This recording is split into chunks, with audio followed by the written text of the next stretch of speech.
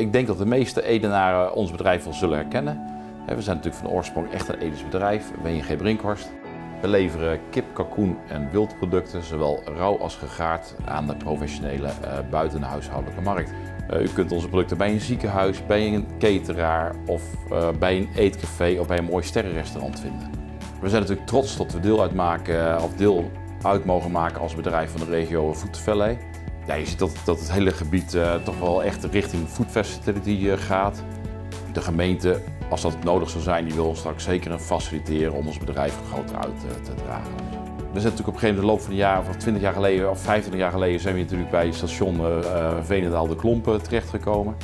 Nou, in de loop van de jaren is het gebied enorm ontwikkeld. Er is een mooie ringweg gekomen te liggen.